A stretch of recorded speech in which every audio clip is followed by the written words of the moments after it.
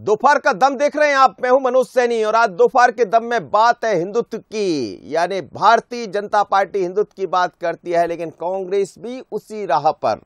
वैसे भी ये कहा जाता है, हिंदुत्व तो सबका है। कांग्रेस ये हमेशा कहती रही, लेकिन इस साल होने वाले विधानसभा चुनाव को लेकर मध्य प्रदेश का सियासी माहौल हिंदुत्व के एजेंडे पर चलता दिखाई दे रहा है। एक और, जहाँ भाजपा पहले से ही धर्म की सनातनी पिच पर खेलती आ रही है तो वहीं कांग्रेस भी हिंदुत्व को एजेंडा बनाकर चुनाव लड़ने की तैयारी में जुटी है। यही वजह है की अब मध्य प्रदेश कांग्रेस भगवा में होगी। कांग्रेस जल्द ही धर्म रक्षा यात्रा निकालेगी। इस यात्रा में कांग्रेस के झंडे के साथ भगवा झंडा भी नज़र आएगा। तेरह मई को इंदौर में बड़ा कार्यक्रम होगा। वहीं जिला स्तर पर भी कार्यक्रम का आयोजन किया जाएगा।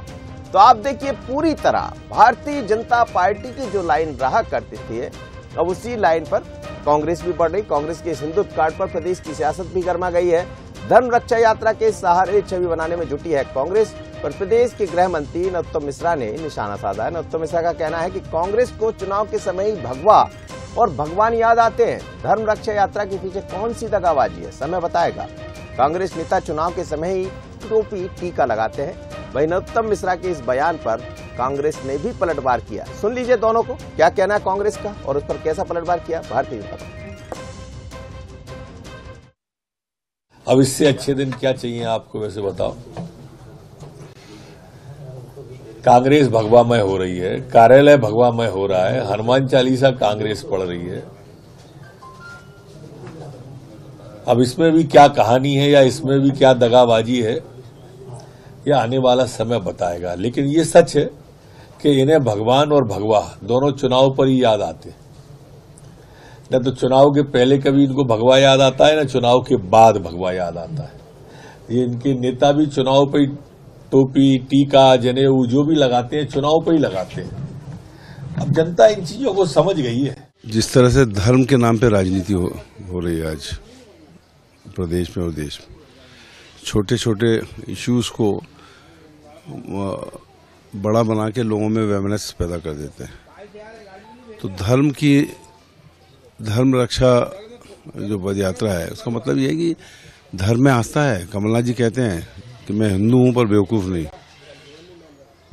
और ये चीज़ें आगे वाले चुनाव में लोगों के मन मस्ती में बैठ जाए कि धर्म की रक्षा अगर कोई कर सकता तो कांग्रेस पार्टी कर सकती, कमलनाथ जी के नेतृत्व में, जो हनुमान भक्त हैं 106 फीट की मूर्ति उन्होंने छिंदवाड़ा में स्थापित की और कोई राम भक्त की राम राज ला सकता है, ये सब उसकी चलिए तो कांग्रेस भी धर्म यात्रा निकालने जा रही है और इस यात्रा की शुरुआत तो उस धार्मिक नगरी हिंदुत्व का, जहाँ खूब चर्चा होती है, इंदौर। इंदौर से की जाएगी।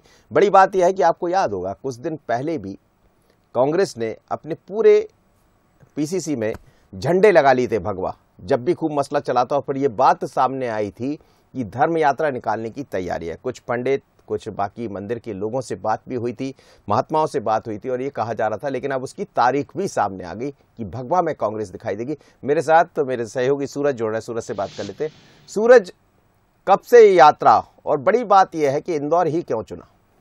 देखिए, मालवा की बात करें तो मालवा हिंदुत्व का गढ़ कहलाता है और खासतौर से महाकाल की नगरी उज्जैन भी इंदौर से पास में ही है। तो इंदौर से इसकी शुरुआत कांग्रेस कर रही है और खासतौर से मध्य प्रदेश कांग्रेस मंदिर पुजारी जो प्रकोष्ठ है, वो धर्म रक्षा यात्रा का शुभारंभ कर रहा है, जिसका ऑफिशियल पोस्टर भी रिलीज़ हो चुका है। तेरह मई से इंदौर में एक बार विशाल जो है वाहन रैली निकाली जाएगी और पूरे प्रदेश में कांग्रेस अपना एक सॉफ्ट हिंदुत्व की तरफ़ से प्रयोग कर रही है कैसे वो जनता के बीच जाए और ये बताया कि सॉफ्ट जो हिंदुत्व जो है, वो धर्म की रक्षा का ठेका सिर्फ़ बीजेपी के पास नहीं बल्कि कांग्रेस भी धर्म की रक्षा के लिए सड़कों पर उतरती है। और यही कारण है कि तमाम जो पुजारी प्रकोष्ठ हैं वो पदाधिकारियों के साथ जनता के बीच जाएँगे। तो कहीं ना कहीं रोटी कपड़ा मकान और मूलभूत सुविधाओं की लड़ाई जो है वो धर्म तक आ चुकी है। और सॉफ्ट हिंदुत्व के, के सहारे 2023 में कैसे सरकार बनाना है इसको लेकर कांग्रेस नया प्रयोग कर रही है। अब देखने होगा कितना सफल हो पाता है क्योंकि हमने पहली बार देखा है इतने सालों में कि कांग्रेस कार्यालय में हनुमान चालीसा का पाठ हुआ था भगवा रंग वहाँ पर लगाया गया था भगवा झंडे लहराए गए थे। यही कारण है कि अब कांग्रेस बीजेपी के निशाने पर है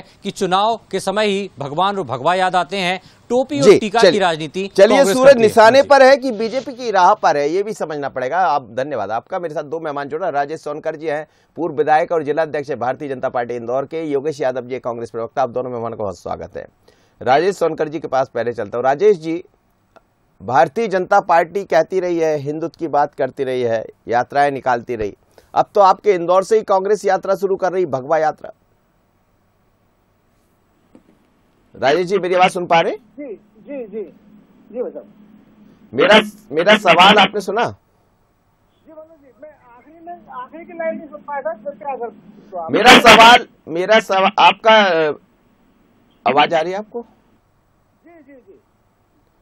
मेरा सवाल आपसे ये है कि इंदौर से यात्रा शुरू कर रही भगवा यात्रा कांग्रेस हिंदुत्व की बात भगवा यात्रा ये तो सब आपके एजेंडे रहे हैं जैसा आप लोग कहते रहे। लेकिन अब आप, आपकी राह पकड़ ली पूरी तो फिर आप क्या करेंगे?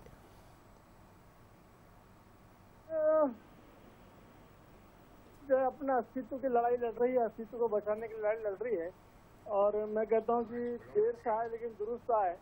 लेकिन साफ़ मन से आए कम से कम भगवान की शरण में आए हैं तो भगवान को धोखा देने से बाज आए जिस प्रकार से मध्य प्रदेश की और देश की जनता को लगातार इन्होंने छला है। अब भगवान को भी छलने का ये मैं समझ कहीं ना कहीं प्रपंच किया जा रहा है।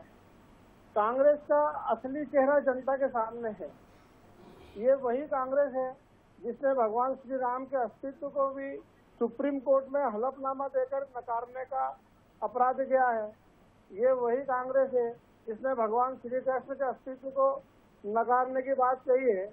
और ये वही कांग्रेस है जो भगवा आतंकवाद कहकर जिसने हिंदू समाज को हमेशा अपमानित करने का काम क्या है? हम्म। तो मैं समझता हूँ कि भगवा यात्रा निकालने से पहले कांग्रेस को ये बात स्पष्ट करना चाहिए कि यदि भगवा आतंकवाद है तो क्या उन्होंने अपने आप को आतंकवादी स्वीकार कर लिया है? क्या आतंक के राह पर चलना उन्होंने स्वीकार कर लिया है? ये मैं समझता हूँ कि मध्य प्रदेश की जनता बहुत अच्छे तरीके से जानती है। चुनाव के समय जनेऊ धारण कर लेना भगवान की बात करना भगवा की बात करना अब ये सब प्रपंच जो है ये सब चलने वाला नहीं है। आज जब पूरा देश हम देख रहे हैं आज चाहे हम महाकाल कॉरिडोर की बात कर रहे हैं हम काफ़ी चलिए मैं आपके आपके आपकी बात का जवाब ले लेता हूँ राजेश जी और अपनी आवाज़ भी थोड़ा ठीक कीजिएगा तो सुन पाए हम लोग। योगेश यादव जी आप सुन रहे थे राजेश सोनकर जी को। वो कह रहे हैं कि कभी आप लोग कहते थे कि भगवा आतंक है तो क्या जिसे आप आतंक मानते हैं अब उसके साथ आप जोड़ रहे हैं? भगवा में हो रहे हैं। देखिए मनोज जी, सबसे पहले तो जो हमारा शब्द है इस यात्रा के उद्देश्य का, उसका अर्थ है धर्म रक्षा यात्रा। तो हमें धर्म की रक्षा का परिभाषित इसको किया जाना चाहिए कि धर्म रक्षा और धर्म क्या होता है, इसको परिभाषित किए जाने पर यह आता है निष्कर्ष आप भी स्वीकार करेंगे कि धर्म का अर्थ ये होता है, सभी के प्रति प्रेम भाव, सहिष्णुता, नैतिकता, संस्कार, और मनुष्य के प्रति, मनुष्य के प्रति आदर का भाव, सेवा का भाव और जिसको कहते हैं ना कि सनातन धर्म को ये माना गया है कि संपूर्ण ब्रह्मांड में इस धर्म के आधार पर इस धर्म की व्यापकता को ब्रह्मांड से तुलना की गई है। तो सनातन परंपरा है जो हिंदुत्व परंपरा है उसका अर्थ ये होता है कि हम उस व्यापकता को उस समग्र शैली को स्वीकार करें। धर्म रक्षार्थ अर्थ ये थोड़ी होता है कि आप दूसरे धर्म को गाली बकने लग जाएँ राजनीतिक एजेंडा लेकर आ जाएँ भगवाकरण करें उसके आधार पर आप वैमनस्यता फैलाएँ इसका राजनीतिक लाभ उठाएँ। हम धर्म को धर्म रक्षार्थ उस परिभाषा को परिभाषित करना चाहते हैं और उद्घोषित करना चाहते हैं जिसका मतलब यह है कि संपूर्ण ब्रह्मांड एक है पृथ्वी एक है वसुदेव कुटुंबम जो हमारा वो है उद्देश्य उसको हम परिभाषित करना चाहते हैं। दूसरी बात जो सबसे महत्वपूर्ण होती है। वो इस बात की होती है कि भगवा क्यों लहरा है अरे भगवा भगवा हमारा प्रतीक है। सनातन धर्म का प्रतीक है। हम्म। मेरे मेरे वहाँ भी निजी मंदिर है जो हमारे निजी मंदिर है वहाँ पर भगवा न, की पताका फहराते हैं क्योंकि ये सनातन परंपरा चली आ रही है। ये भाजपाईकरण नहीं है और आज फिर वही प्रश्न सामने आ रहा है कि भारतीय जनता पार्टी को पेटेंट किसने दे दिया कि आप भगवा लहराएँगे ही नहीं साहब? आप तो वही- हम स्वयं स्फूर्त चेतना के अंतर्गत एक प्राकृतिक वातावरण में ईश्वर की आराधना करते हैं और धर्म रक्षा रैली का लेकिन धीरे धीरे कर योगेश जी योगेश जी धीरे धीरे कर कर हम देख रहे हैं। देखिए आप लोग ये कहते रहे कि इस भारतीय जनता पार्टी का संगठन बड़ा महत्वपूर्ण है। अब हम देख रहे हैं वही सब रहा। मैं ये नहीं कह रहा हूँ कि आप उनके उनका पीछा कर रहे हैं या उनसे बात सीख कर आगे बढ़ रहे हैं। लेकिन आप भी क्या उस मर्म को उस नब्ज को समझ गए कि हमें इस तरफ़ बढ़ना पड़ेगा? देखिए हमें भारतीय जनता पार्टी से कोई प्रेरणा लेने की आवश्यकता नहीं। हम्म। धर्म धर्म होता है और कांग्रेस के लाखों करोड़ों कार्यकर्ता नैसर्गिक रूप से नियमित पूजा करते हैं पाठ करते हैं तो इसका मतलब ये थोड़ी कि भारतीय जनता पार्टी का हम अनुगमन कर रहे हैं या उनका चरित्र कर रहे हैं। हमारी अपनी व्यक्तिगत अपनी पहचान है हमारी अस्मिता है हम उसको कैसे खंडित? दूसरी बात यह है कि भारतीय जनता पार्टी जिस तरीके से धर्म को आधार बनाकर राजनीति करती है इनसे कहें कि सच्चा धर्म तो यह है कि भाई महँगाई कम करे बेरोजगारी कम करे निजीकरण कम करे सोनकर जी जवाब दे दीजिए। ये मैं कहता हूँ, आज सनातन धर्म की बात करने वाले कल तक भगवा को आतंकवाद बोलते थे। आज चुनाव आए तो इनको धर्म की याद आ रही है सनातन धर्म की याद आ रही है। जिस देश की आज़ादी के सत्तर साल में, लगभग साठ साल तक जिसने देश में शासन किया, कभी इनको भगवान काशी विश्वनाथ के मंदिर का ध्यान नहीं आया कि वहाँ पर मंदिर किस प्रकार की अव्यवस्थाओं से जुड़ा हुआ है? जहाँ देश और दुनिया के लोग, करोड़ों लोग आस्था लेकर आते थे लेकिन वहाँ पर उनके मन में ये एक पीड़ा और दर्द होता था कि भगवान काशी विश्वनाथ हो।